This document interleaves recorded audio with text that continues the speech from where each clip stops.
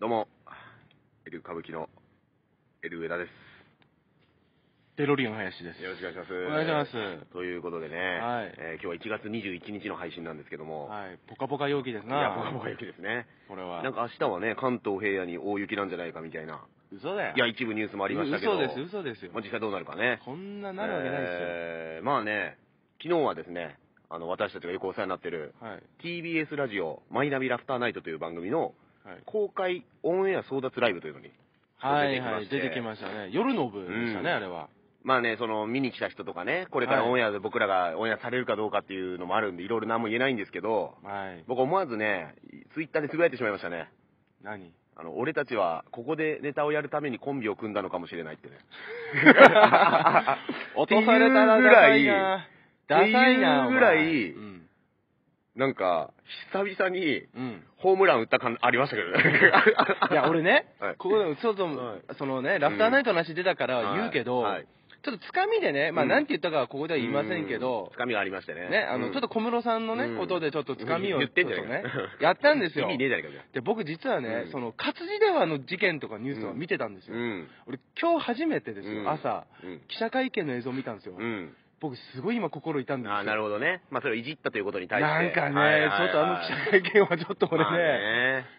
あんな暗いの、うんうんうん。まあね。ちょっとね、なんか、結構ね、かな、なんか切ない感じでしたね。今逆にその文春側がちょっと叩かれてるというか、あちょっとね、つまり人の人生をそんな報道で狂わしていいのかみたいにも言われてたりとか。でもあれを報道と見るかさ、うん俺雑誌って下世話だから、はいはい。まあね、ストーキングに近いことをして、言ったという。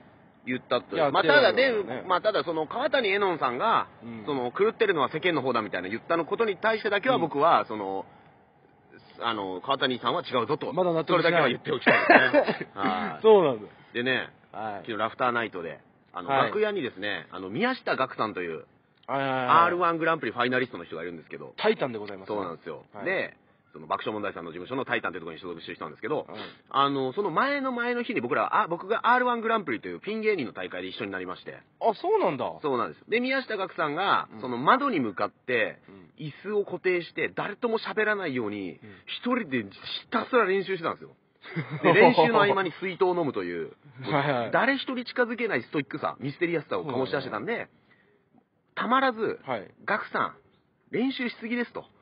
数少ないこの楽屋にもいるファイナリストであり、うん。練習しすぎですとかって言う。うん。でね、で、昨日ラフターナイトで会って、大きなお世話だけどな。ラフターナイトで会って、はい。ガクさんに、R1 どんまいですって言ったの。R1 がね、残念ながら落ちてしまったんで。で、そうなの？そうです。で、そしたら宮下岳さんが、うん。お前がごちゃごちゃ話しかけるからだよって 怒られたんで、あの、ファイナリスト？今後もね、あの、競合みたいな人の大事な大会の時は、うん話しかけて足を引っ張るということを誓 誓っていきます。お前ガクさんの人生だえーぞ、今後も続けていきたい。あららららららあの水筒はそうなんだ、ね俺小道具かと思ったらいやいや、違いますよ。本水筒だったんですよ練習用の小道具ですね。あ練習用のはいでね、ちなみにあの、ホリエモンさんも R1 グランプリ2回戦で散るというニュースがえ落ちたの？落ちたみたいですね。ただ追加合格があるんで、全体の後に。はいはいはいはいはいちょっとそこに入ってくるのか。あらららららホリエモン、学エモン。学エモン。ね、一緒に入るのかというね、こともあなるんですけど。学エモンね。はい。あそうなんだ。うん。2回戦で落ちちゃうんだ。そうですよ。結構ね話題ね取ってね。あとはね、最近あの、タレントと芸人さんのコラボが増えてるっていうニュースがあって、ああこれはねいいい。どういうことですか？つまり好感度アップの起爆剤になってるんじゃないかと、俳優さんからしても。あの、ギャップを見せれるから。はいはい。もうあれですねガキ使とかでそう。ね結構ねまさにそれの斎藤、匠さんとかじゃない、サンシャイン池崎さんをサンシャイン斎藤ってやったりとか。やったりと、かね。アキラ100%さんをあの原田龍二さんがやったりとか、ああ面白かったな。あとブルゾンチームをこう足立由美がやったり、あと木村多江さんがやって、やってますその映画の宣伝になるというのなんですけど、はいはいはいはいはいはいやっぱね、もうここまで来たらね、うん。俺もね、もう最後これだろっていうのが一個あって、なんですか？やっぱ田村正和とハリウッドザコシショウ。はやっぱこれを、どうにかね、あの、多分田村正和、い見せつけるや、これやってほしいじゃないですか。絶対うんって言わないじゃないですか、多分。田村正和。まあねつまり、あのイメージがつくから古畑任三郎を辞めたって言ってるわけよ、本人は。おおそうだね古畑しかできなくなるのがや嫌だという。うんもうそのイメージしかなくて親父とかでドラマあったんだけどね、全部ねやっぱね古畑に見え古ちゃうでしょ畑に見えちゃうのよそそれ恐ろしいこ。とでだかすら、ねえ、いつかはね、うん田村正和のハンマーカンマー。ね 聞きたいじゃない？まあ確かにね言ってねえよってみんなが突っ込んだやつを本人が言っちゃうという。あとね、もう一個見たいのは、うん。梅沢富美男と小梅太夫ね。あ、なるほどね。元弟子なんですよ、小梅太夫さんは。うん梅沢富美男劇団から始まって、うんで、あの、女型をマスターして、うんエンタの神様でブレイクするわけですよ。で、梅沢富美男イズムでブレイクしたわけですよ。まあ、確かに。うあと歌、歌もな、出してるしな。歌も出してますよな、。畜生だけ？そうそう。出してるしな。えー実機賞なんとかで出してます出から。で、毎日実機賞っていうね、カレンダーまで出しましたから。あらはそう。あの、松岡修造の、あの、メーカーのやつで。なんでね、で、ね、ただ、これに関しては、うん。おそらく梅沢富美男すでにオファー来てて決定る説ってのは俺の中では成立してないけど。あ、やってそうだな。なんかもう来てそうじゃない？やってそうだな。梅沢富美男だったらさ TBS のバラエティあたりやってそなんかね、やってくれそうだからさ、う。そうそうそう。なんか言ってそうだなとじゃああれかな、思うんだけど。チャンス大城さんがすげえさ、うん。あの、滑らない話とかでさ、うんバーンってめっちゃ人気出た場合さ、うん。誰かコラボでさ、なんだろうね、外科医としてコラボしてさ、内臓全員逆にしちゃう。あるあの、チャンス大城さんの、あれね、心臓が右についてるって自分で言ってるっていうね。全部逆だ言い張ってるだけだと俺は思ってるけど。あれ絶対言い張ってるだけだよ。いや、それはそうでしょ。ねえあとはね、あの、卓球の張本選手というのがいまして、14歳の、あの、チョレイの、チョレイドでおなじみの、チョレイさんだ。これがね、全日本選手権シングルス、はいこの人すごいです。いわゆる大人とかが出るやつで、もうベスト4に入ってって今。おえで、昨日なんと、のけ、あの、勝利が決まった瞬間にのけぞって、うん。ドワーッと叫んで、これが今、ハリバウアーって言われてる。ハリああ、はイナバウアーみたいな。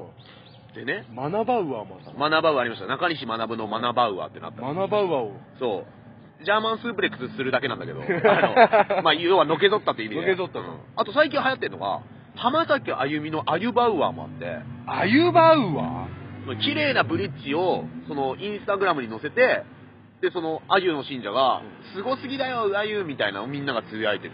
ーほえ自分のブリッジを写真に載せて称賛されたのは、あの、一人でトレーニングしてた時のアントニオ猪木以来なんですよ。道場の前で。であの首を鍛えて。なるほどね。そうなんですよ。ちょっとその前に流行ったバウアーってやっぱあれかな、うんドキドキキャンプさんのねはい、岸バウアーじゃないですか。ジャック・バウアーね。一切のけぞれないっていう。体重が重すぎて、腰に負担がかかって、一回もブリッジできないっていう。岸バウアー。そでも張本君もさ、うんすごいじゃない、活躍しちゃってう。。すごいすごい。これちょっとさ、うん思春期だからさ、うん。これね、周りに変な女寄らないようにな。まあね気を。つけなきゃダメだよ、これ。あとはね、その、全盛期がどこになってくるかって問題あるね。例えば福原愛なんか、うん。その早すぎて注目されて潰されたみたいに言われたけど、ちゃんと大人になってから全日本女子も取ったりとか、そうそうそうそうそう。であとはその俺ら同世代だと岩崎京子さんっていう、あ岩崎あ京子ね。の水泳の俺10何歳14歳かなんかで金メダル取金って今がじ一番人生で幸せですって 言ったんだよ、14歳で。14。歳で。で、そのちょっと後に全日本プロレスの川田俊明がうんベルトかなんか取った時に、うん今が人生で一番幸せですって言ったんだから。図らずも岩崎京子と同じこと言ってた。いや、でもねうん、川田さん俺今幸せのような気がするな。いや川田幸せですよね。今、あの、メンジャラスケっていう、ね唐揚げ屋を経営してて、そうそうそうそう。これ結構。ね、あの、こだわりのお店になってて。そう全然サインねしてくれるまでやっぱね、お客さんを待たしちゃいけないっていう気持ちでね、うん作り続けてるからそうサインもらうのも一苦労だとそうそう、らしいね。はいで、川田俊明さんのかつてのライバルの小橋健太って選手がいて、でああもう大好きですよ僕はそのモノマネの小橋太ったって人がいるの。ですげえ声似てんだけど、うんで、川田さんのお店に行って、で、あのー実はモノマネやらせてもらったんです。か小橋太ったですみたいな言ったら、うん。お前失礼じゃねえかみたいな。ちょっと怒られたんだよ、おー。川田に。でもその後ずっと喋ってたら、似てるな って認められたらしい。やり続ける。すごい太ったさもやり続けたんだ。で川田俊明は今もう現役の頃見る影もないぐらい細くなってるんで、まあ。一部で小橋太ったと川田痩せたって言われてる。川田は本人なのに川田痩せたって言われてる。事務所も決まったんじゃないですか次の。次のね。次の事務所えー、ということですね。はい。そろそろ10分いくんですが。何ですか？最後にですね。ああありますか？はい。あの桑田真澄の息子さんのマットさんってご存知ですか？ああ役者やってない？なんか役所なんだあれ。モデル？わかんない。モデルなのか役者なのかなんか舞台挨拶めちゃめちゃなんつう綺麗な顔してる、うん。マットさんが最あ近ああれあれ工藤公康かもしれない。ああ、工いるよ藤、ね工藤の息子いるね。いるよね。あかもしれないうん。マットって、なんかモデルみたいな、うんなんかね、ね、実際はどうか知らないけど、ネットではよ、顔いじりすぎだろとかすげえなんか書かれてきたの。で、実際わかんないけど。あれでも桑田の奥さんってうんえ日本人か？あ、わかんない。外人好きじゃなかったっけ、桑田って。どうなんだろう。確か外人好きだったイメージが俺の中に。で、そのマットさんがね、はい。あの、すげえ美意識の高いナルシストみたいなキャラなのよ。はで、あの、父がボールに向かってつぶやいているようにい。う、ん。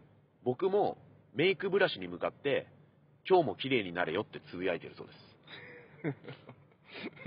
ま皆さん、なんかは、い一つ、皆さん賢くなったんじゃないですか、はいこれで聞いてる方は。とり勉強になったと思います、は い皆さんセンター試験とかもね、いろいろあると思うんで、今の知識をうまく使ってですね、あえずお母さんに話して。とりあえずお母さんに話して、お母さんに。